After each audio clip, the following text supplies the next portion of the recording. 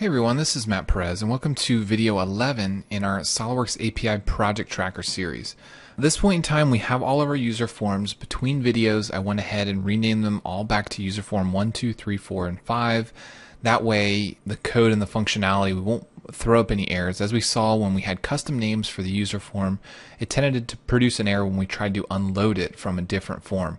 Typically, when you're inside a form, you'll use unload me, but since we need to pass values back and forth between user forms, we can't clear the memory while we're still in the user form itself. We have to clear it from another user form. So it produced a little bit of a problem going back to naming them user form 123, the standard nomenclature.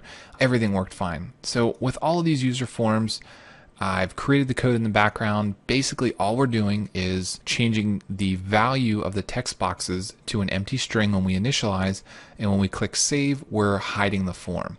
So it's the same thing that we did on user form 2 when we looked at the code.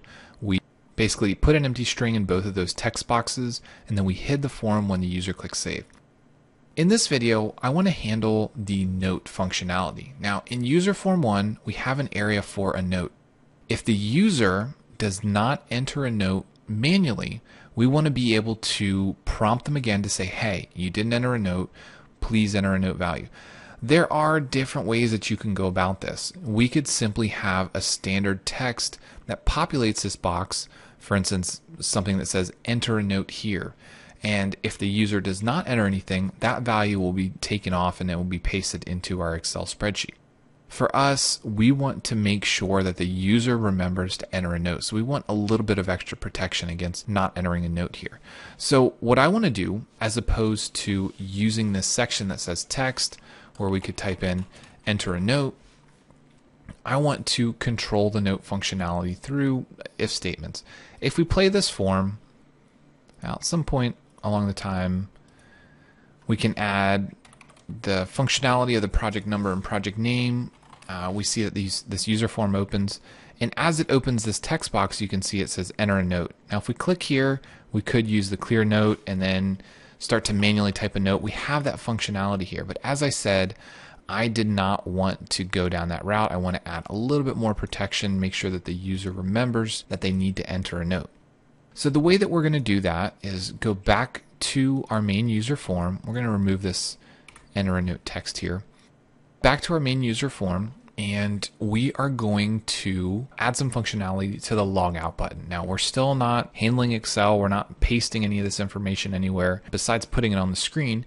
So, really, the only thing we're doing is we're going to add a little bit of an extra step, a little bit of an if statement to that log out button.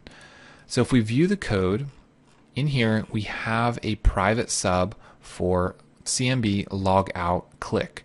And when we click the log out button, currently all that's happening is that text box is changing from red to green and we're changing the special effect to sunken. But what we want to do is we want to add some functionality to see if the note is empty. Now, in this point in time, we have our text box name. Now, this text box name is called TXBX note. It's going to be very important to remember that. We want to handle an if statement. If TXBX note dot value is equal to an empty string, then we want to do this. And then down the way a little bit, we're going to have an end if statement. What we could also do is say that if txbx note value equals enter a note, then we know that the user hasn't entered anything. So if you want to use that standard text within the functionality of just using a text box, you can still use this conditional statement to figure out whether or not the user has added anything to it because it's going to be looking for an exact instance here. All right, so if txbx note, the text box, if the value of that text box is an empty string, two quotation marks directly next to each other, then what do we want to do? Well, we need to send a message to the user. Now, what this means is we're going to have to declare a new variable. So what I'm going to do all the way up at the top is I'm going to declare dim, and this is going to be note retval, so return value for my note functionality as, just like all the other return values, we're going to be using it as long.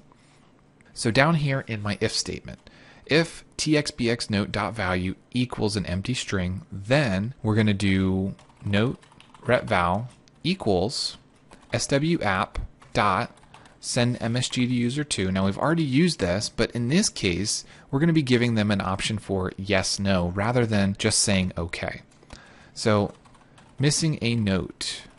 Do you want to create one now? So now the user is prompted with a question telling them that they're missing a note if asking them if they want to create one now. We're going to add a comma. We decide what the icon is. SWMB question. Now, again, all this information is located in the SOLIDWORKS API help file. If you want to figure out what these enumerations are, what options you have, then you can go in there, you can simply copy and paste these enumerations from it. Now, I know that we have SWMB question because we're asking the user a question. Then next we have to determine what the buttons are. SWMB yes, no. So now the user has the option to select either yes or no. Now, it's very important when you're using send MSG to user 2 that you understand these enumerations. If I go into the help file and I look up send MSG to user 2, if we take a look at this, we have the enumerations for the icons and the buttons. The important thing here is going to be the return values. Now we're going to be returning a value if the user hits yes that return value is going to be 6. If the user hits no, that return value is going to be 3. This is what we're going to handle in our code. So back in our code, we need to start a new if statement. We're going to say if note ret val equals 6, so if the user selected yes, then we're going to do something. In this case, it's going to be user form 3.show. And then we're going to do user form one, which is the current user form that we're in, dot. Now, this text box, we basically we want to populate information on user form one with information from user form three in this case. So this is going to be user form one, and this is going to be our txbx note dot. In this case, we're going to do dot value is equal to user form three, which is the user form we created for the note pop-up dot in our case for user form 3 we're dealing with txbx note add. And you can see it pops up when I hit the period so we don't have to explicitly remember all this information dot value. So what we're saying here is that the value of the text box note on user form 1 is populated with the information from the text box value on user form 3 and at that point we can unload user form 3 and then we have an else. Now we need to have an else statement here because if the user selects no, that they don't want to add a note, then we need to figure something out. Well, if the user doesn't want to add a note, then we're going to do txbx note, which is the name of the text box on user form one, dot value is equal to something. So we can say user did not enter a note. And this is what's going to end up being populated inside of Excel. So it's very important that we know what's going on here, that if the user selects yes, we allow them to interact with that user form. If they select no, then we still populate that text value with something. Now, because we have a separate if statement here, we need an end if there, as well as an end if here to end the overall if statement. All right, so as we're looking at this form, if the user has entered a note into the user form one note area, then it won't do any of this stuff. It's just going to skip over this and nothing else is going to happen. To make sure that works, let's go ahead and add a message box. So we're going to just say outside of if statement. So this way we know that it did not run through the if statement. Let's go ahead and save this program. And let's go ahead and run the user form. We need to go ahead and add these values. And then once the main user form comes up, currently there's no note in here. If I click log out, it's telling me I'm missing a note. Do you want to create one now? Now this is where we have the yes no box instead of just an okay. If I say yes, user form 3 comes up, type a note, hit save, outside of if statement. All right, well, we need to add a little bit more functionality to this let's go ahead and hop back into our code, go back into user form one. With our message box, instead of saying outside of statement, let's go ahead and add the value txbx note. So this way, it's going to output the value of the note that we have. So let's go ahead and save this, and let's go ahead and run through it again. All right, so currently there's no note there. If I log out, tells me I'm missing a note. Yes, I want to add a note. I'm just going to type in new note, hit save.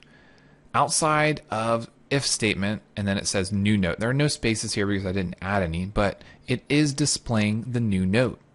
And you also see that it's now displaying the new note inside of this area. Now, the only reason it's doing that is because we haven't closed the user form. When you log out, you'll no longer see this information. We haven't gotten to that point yet.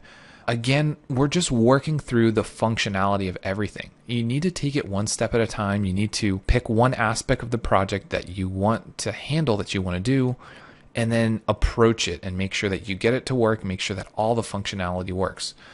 Let's go ahead back into VBA. Let's take a look at the code one more time. So back in user form one, the CMB logout click, we have this if statement that we run through if the user does not enter a note value. We still need to check the functionality. If the user's entered a note, we need to make sure that it doesn't run through this statement. So let's go ahead and let's play it one more time. And let's enter a note value. All right, so now when we hit log out, we should not be prompted to enter a note because we do have a value here. And also, this value should pop up on our message box. Okay, so we see outside of if statement, enter a note value. All right, so enter a note value is what we have here. So everything is working fine, the functionality is working. The reason this is so important because as we look at the code, whatever this value is, txbx note dot value, this is what's going to be sent to Excel. So we need to know that if the user enters it on user form one, that we don't accidentally populate it with something like this. User did not enter a note. We want to make sure that this functionality works. So there's one more test that we need to do. Play the user form again. We're not going to enter a note. We're going to log out and we're going to say no. Now it says user did not enter a note. So we're pretty sure going through the user form that we've got the functionality nailed for the options for the user to enter a note. I know it was a long roundabout process in order to get that to work, but it was very important that we understand how to navigate through these options and how to give the user options even though we don't want to create a new user form just for the yes no option, we can use send MSG to user 2. This will be prompted in SolidWorks. Then we can determine the path to go from there, whether or not it's showing a user form, whether or not it's manually populating a value, or simply popping back out and not doing anything. So these are all valid courses of action when we're talking about dealing with the function of adding a note in this case. If you guys have any questions on what we covered here, please let me know. Email SolidWorks support at mlc-cad.com, and we'll see you next time.